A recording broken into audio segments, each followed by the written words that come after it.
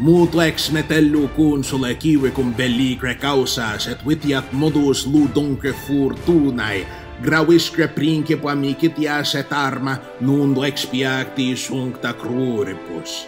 Periculusae plen opus aleae tractas, et incedis per igni suppositus se dolosu.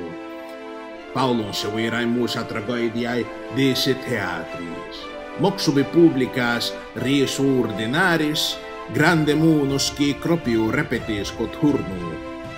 Insigne maestis praesidium reis et consulenti Pullio curiae, quae laurus aeternus honoris del mateco peperi triumfo. Iam nunc minaci murmure cornum per stringis auris, iam litui strepunt, iam fulgor armorum fugacis terre tecus equitunque vultus, Vedere mannos iam videor duces nun in decoro pulvere sordidus et cuncta terrarum sub acta praetera truc animum catumis. Iuno et deorum criscris amicior afris in ulta cesserat impotens tellure. Victorum nepotes, rettulet inferias iugurtae. Quis nun latino sanguine pingrior campus sepulcri, simpia proelia testator, auditumque midis esperiae sonitum ruinae. Qui gurges aut quae flumina lugubris ignara belli, quod mare dauniae nun de colora vere caides, quae caret ora cruore nostrum. Sed ne relictis, musa procax jocis,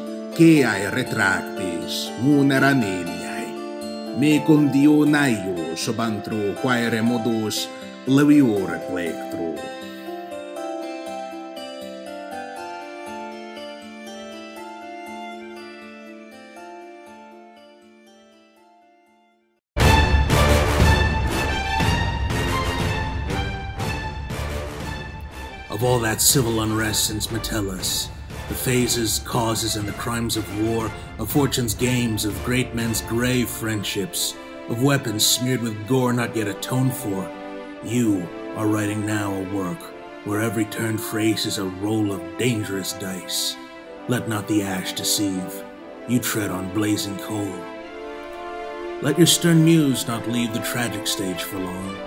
Soon, when you've set affairs of state in order, you'll heed the theater's calling again. Pollio, the great bastion of law to grieve defendants, famous for counseling the Senate Council, crowned with deathless military honor for victory on Illyrian ground. Even now I hear the war horn's baleful roar in your raucous music and the bugle's blare. I see the flash of swords strike panicked horses and horsemen's eyes with fear. I see the great commanders, filthy with war's not inglorious dirt. I hear the whole world fall at Rome's feet, notwithstanding defiant Cato's dogged soul.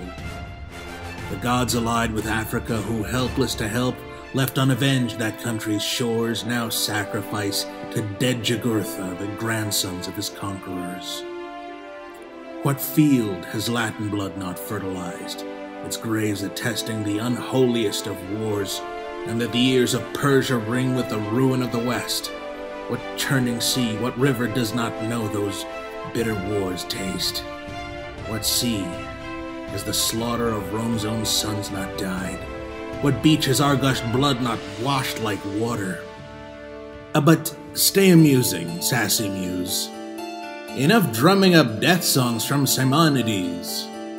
Let's flee to one of Venus's grottos to strum a lighter tune than these.